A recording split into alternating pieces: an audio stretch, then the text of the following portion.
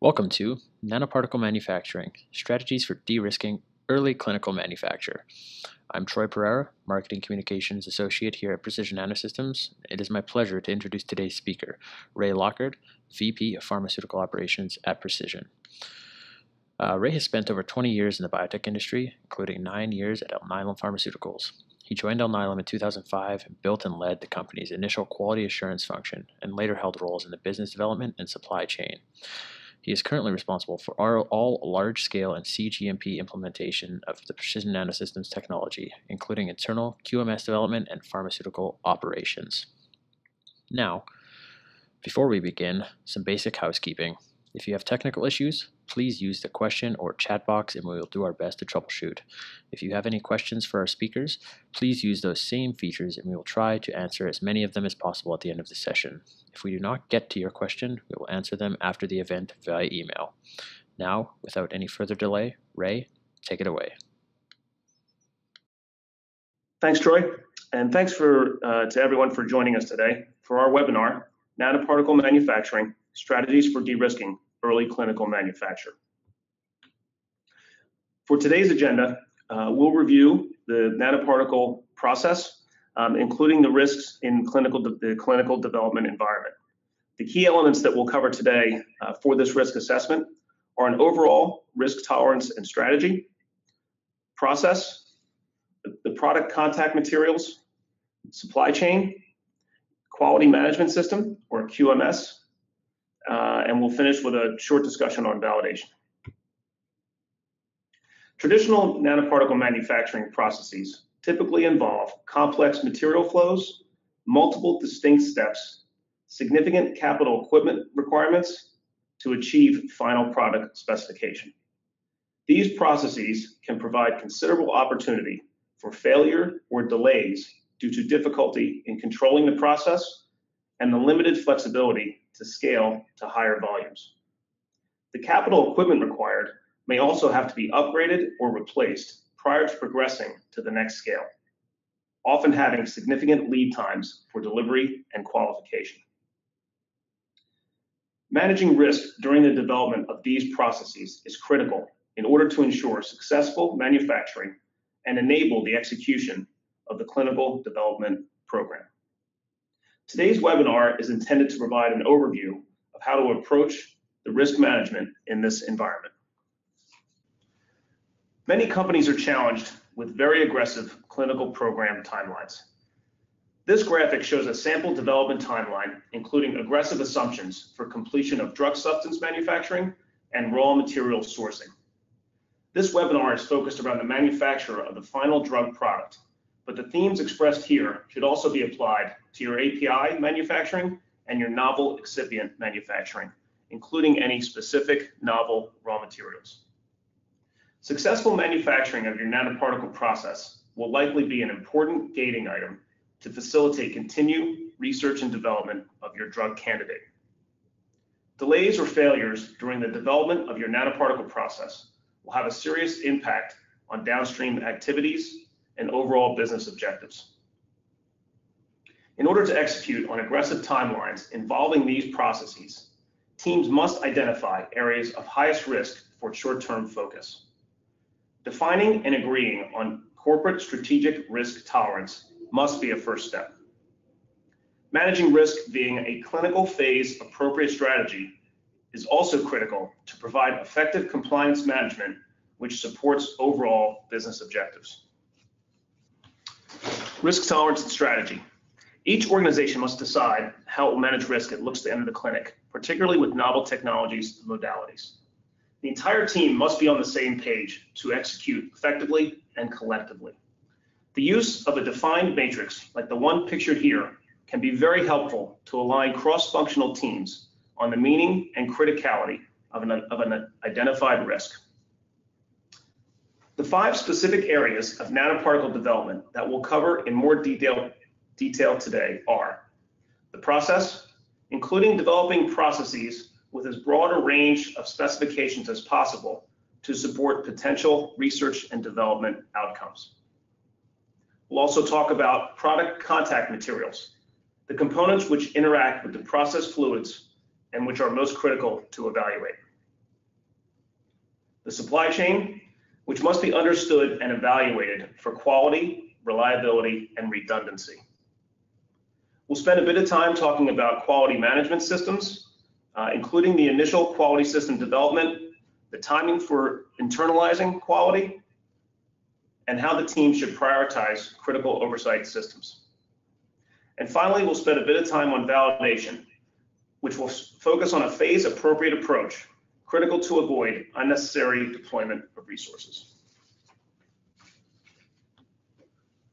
Current novel technologies inherently involve additional platform risk.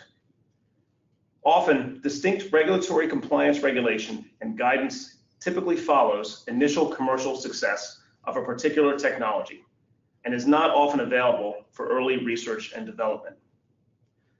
A focus on patient safety, known product quality attributes, and clinical development strategy will inform for the appropriate areas of immediate attention. Early phase development often affords potential to apply resources via a risk-based method. Trade-offs, which are made in order to accelerate development, must be tracked, however, and planned for execution in later phases. Examples of these trade-offs may occur in validation, in your extractables leachable studies, in your stability program, and in some of your supply chain decisions. For your nanoparticle development process, it's helpful to assume that initial projected volumes and specifications will likely change. Initial work on the process and on the program will likely commence without fully understanding dosing, efficacy, or therapeutic index.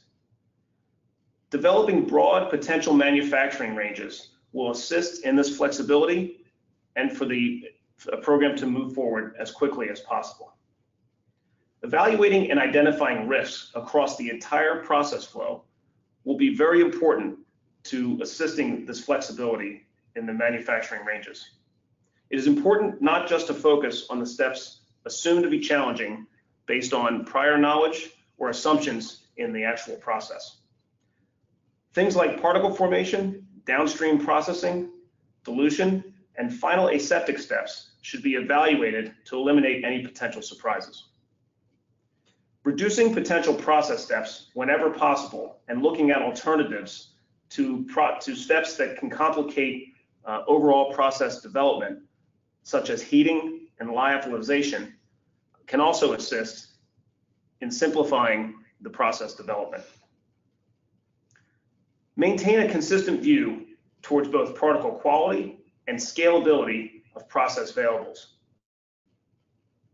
Ensure that stability and durability of particles is also assessed once initial specifications have been met. Now on to materials and components. Focus on potential product and process risk and balance with the business needs. Assign your criticality to enable efficient operational approach to each specific material and component involved with your process look at your product contact materials and try to utilize inert disposable materials whenever possible. Materials like stainless steel, PEEK, EPDM, platinum cured silicone are examples of materials that are often used in the pharmaceutical and biotech industry and have a well understood profile when it comes to processing schemes and extractables and leachables. Use single-use items whenever possible to reduce risk and cost for things like cleaning validation, which can be very expensive and timely in processes that look to reuse components or fluid paths. Focus on compatibility testing to your process materials and your process conditions.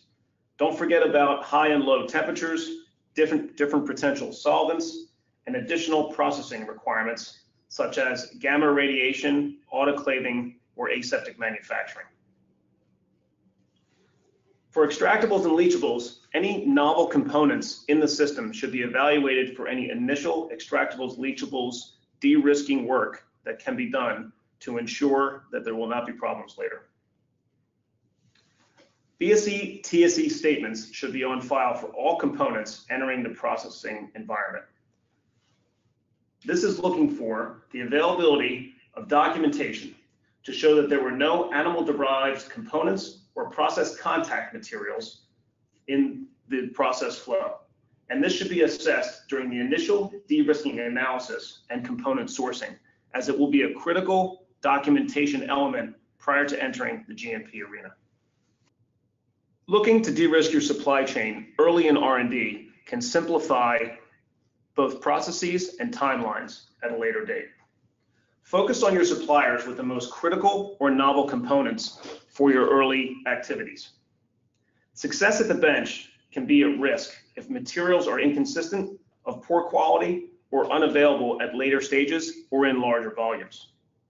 Leveraging contract manufacturing organizations or suppliers with experience in GMP manufacture will streamline your activities.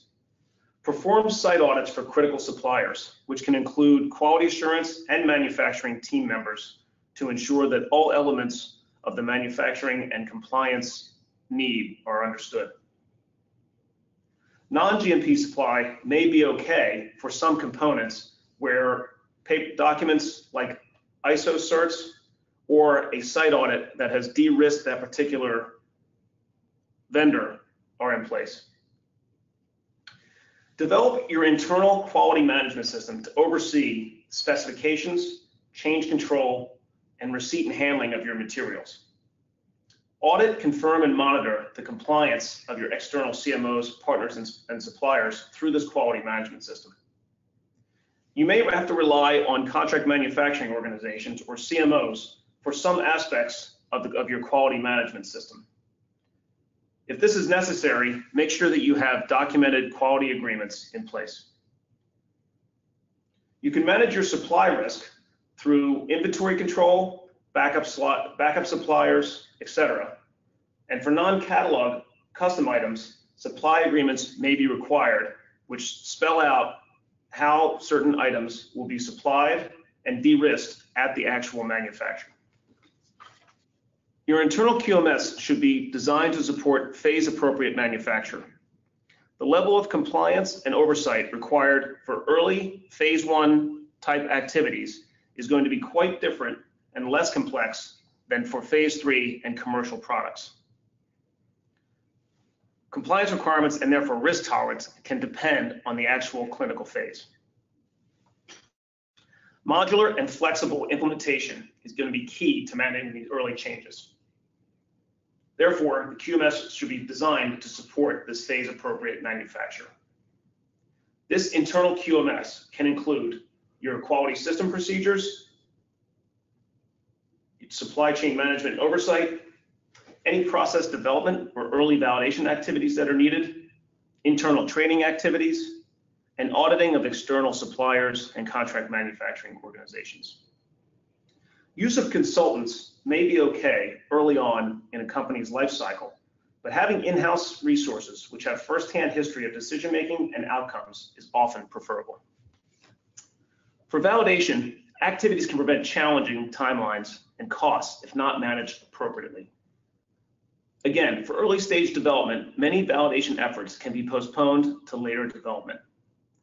The use of single-use components may remove the need for things like cleaning process validation. Recording and document, documenting data in initial batch records can also eliminate the need for computer or process validation in early stages. The use of microfluidics in, in, in nanomedicine manufacturing looks to identify some of the risks discussed here today. Existing technologies can be very labor intensive, have high batch to batch variability, and are often, as mentioned, very difficult to scale.